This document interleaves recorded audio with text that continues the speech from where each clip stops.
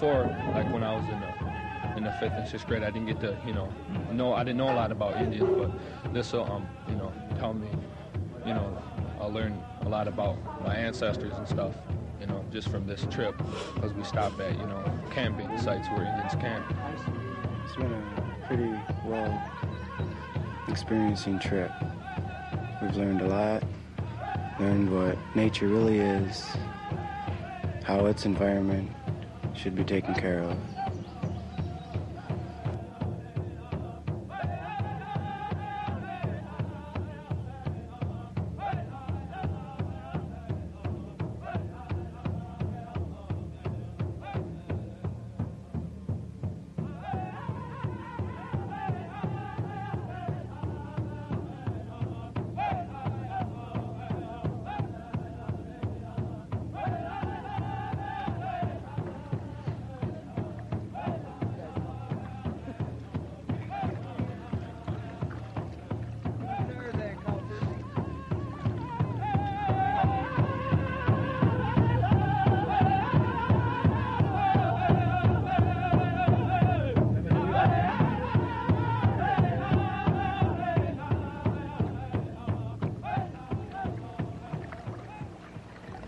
Well, the purpose of the trip is to get uh, American Indian students interested in the Grand River, uh, the history of it, the history of the Indian people in the Grand River, and understanding the historic and economic uh, condition of the river from, oh, about 1800 till present day.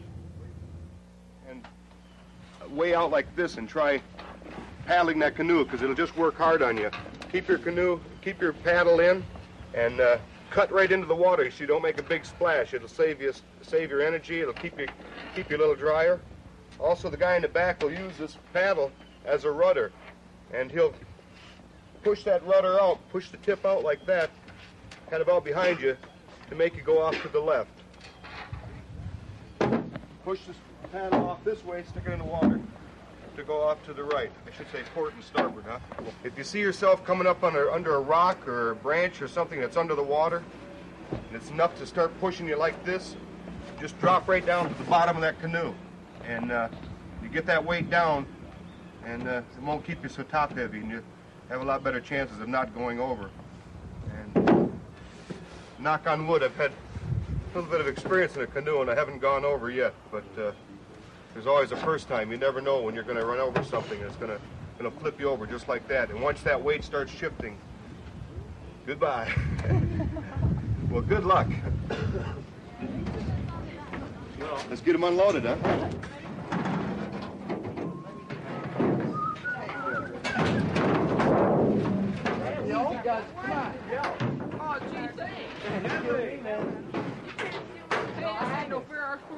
Got confiscated. Right here, right here.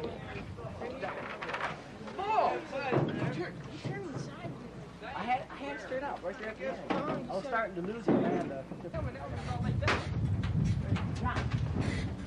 Trading is what it was.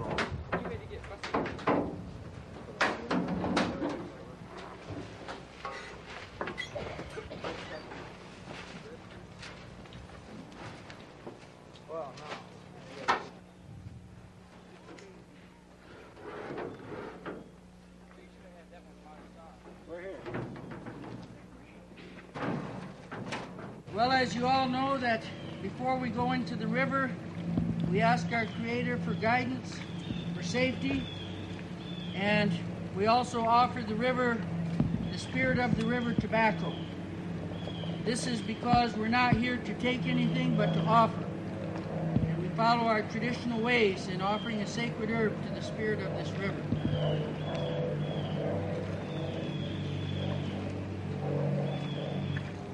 Now remember to offer this tobacco each place we go along the river where a tributary, a stream, or another river comes in. Because at the largest tributaries is where our ancestors had their village. And so you're giving them a gift of tobacco. Miigwech.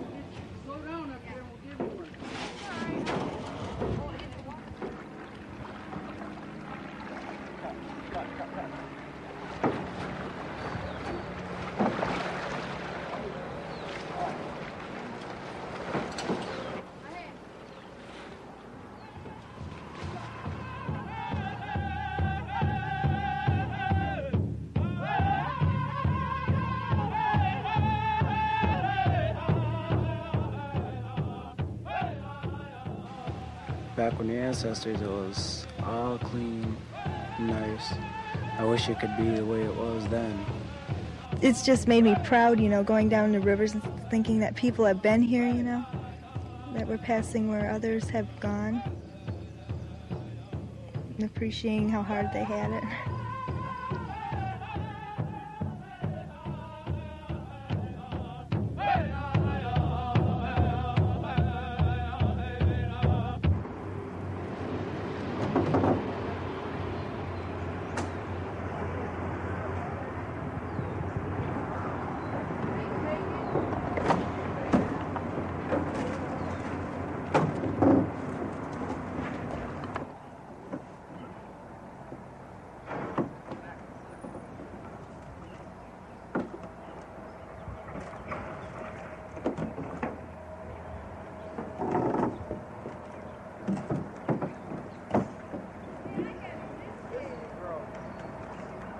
There were a lot of uh, portages and a lot of trees down the river, so the people really had to work hard on Monday.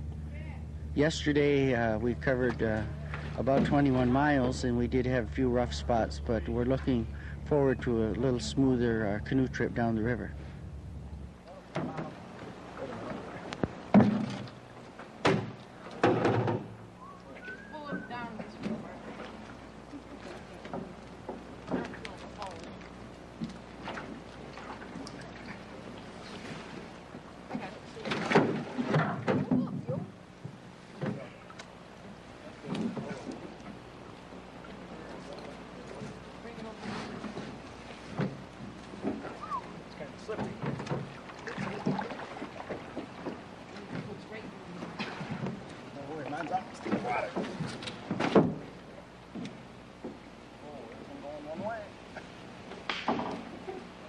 Send it over towards that way, Selma.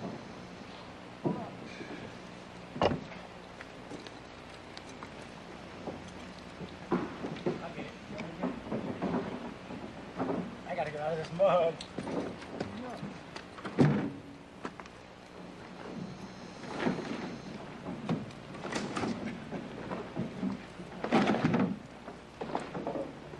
Get in. Not yet.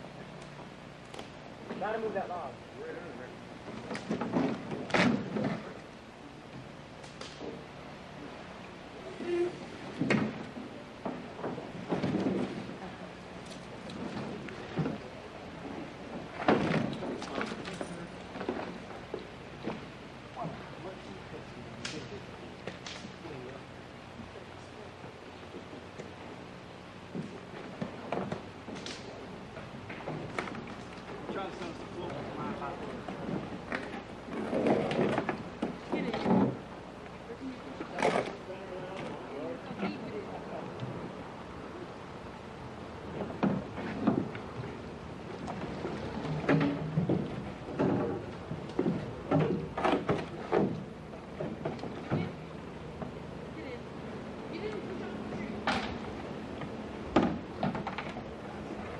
So they're getting an education. Uh, they're getting information that they can use in school later on in life. And I think most importantly, they're learning how to work and get along with other people because a trip like this takes a lot of teamwork.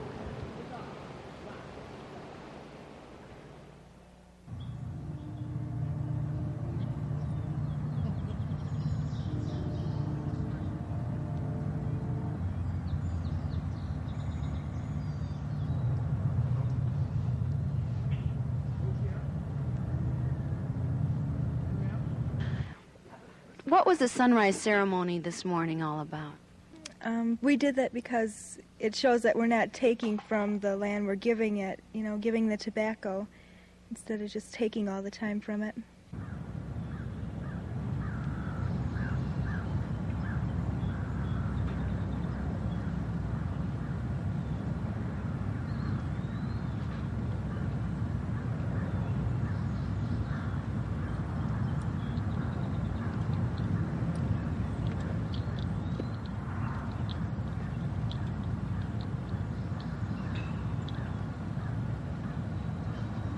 We were just thanking the thanking the environment, you know, for the things that it gives us and just appreciating it.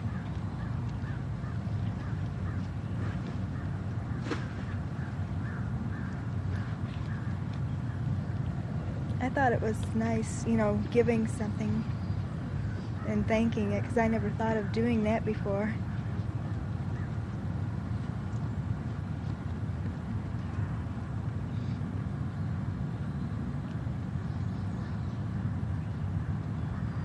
Uh, we'd like to do 30 miles today, and I think we can because we hit 21 uh, yesterday, and the first day uh, we were only able to do uh, about 15, if that, because it, it was tough. We spent a lot of time getting out of the river, so I think we'll do much better today.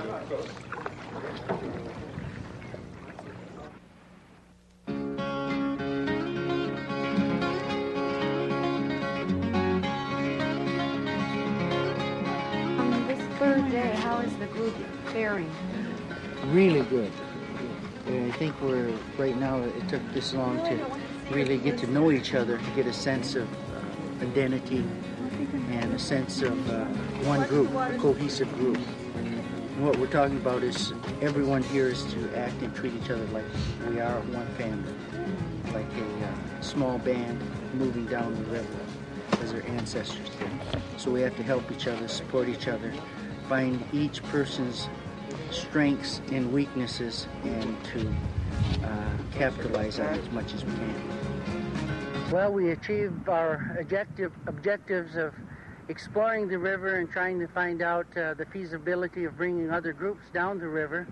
We had to look at various campsites, uh, some of the areas we'd have trouble with, and uh, we did have a rough time coming down. There were a lot of down trees here and there. Uh, most of the kids are from the urban area, so the first day or two was just getting them in shape, getting ourselves in shape, and most importantly, getting to know each other.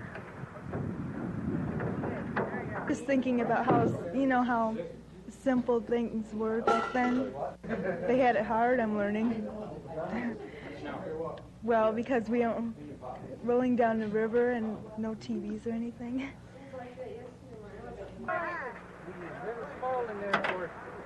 Well, I just want to say that this trip was a result of a request by our elders. Sometime back at Lansing Powwow, uh, Mr. Chingman, one of the elders of the Grand River Band, said it was good to see uh, us on the river. So, from that point, the trip evolved.